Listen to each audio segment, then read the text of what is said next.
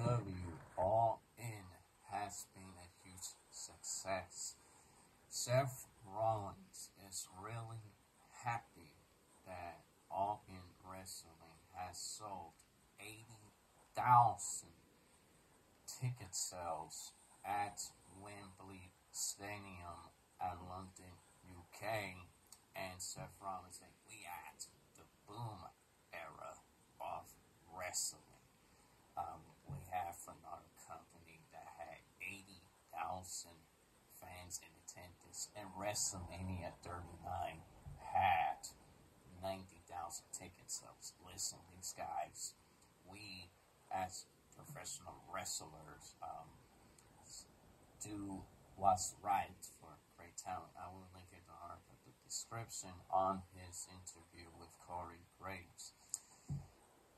Is wrestling growing like the Attitude Era and the CW era?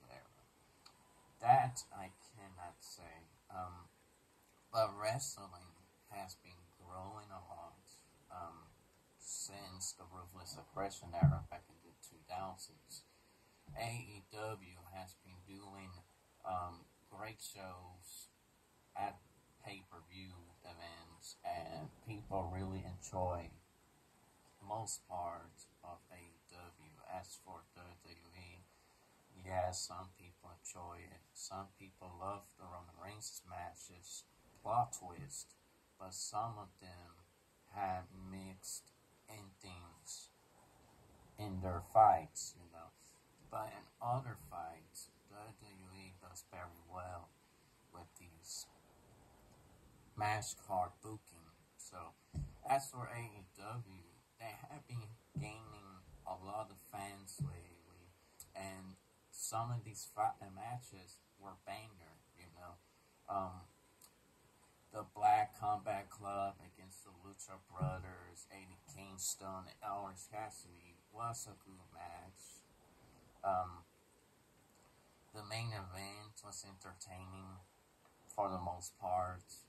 Darby Allin with Sting against Christian Cage and Sir Swerve Strickland were, good matches for the most part. Like it's hard to hang on to AEW for what what they have been doing.